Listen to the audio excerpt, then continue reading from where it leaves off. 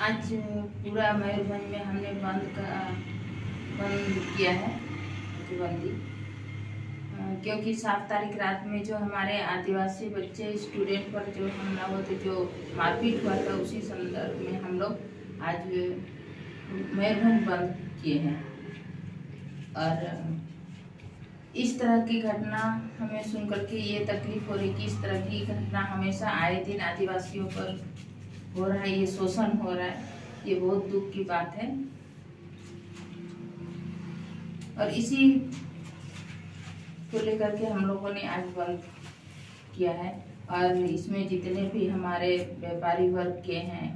और हमारे जितने भी मयूरभंज निवासी हैं, उन सबको मैं धन्यवाद देती हूँ कि जिन्होंने हमारे पद को सहयोग किया। और इसके साथ साथ हम लोग कल हमारे पार्टी के बीच में ही कुछ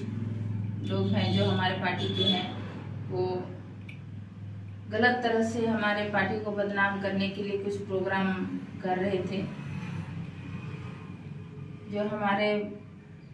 महासचिव थे, उनको तो कुछ दिन पहले ही रामचंद्र हासदा जी को कुछ दिन पहले ही हम लोगों ने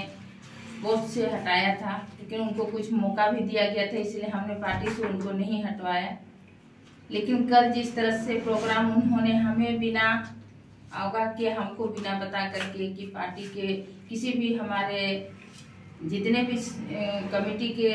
मेंबर हैं, उनको नहीं बता करके उन्होंने ये प्रोग्राम किया।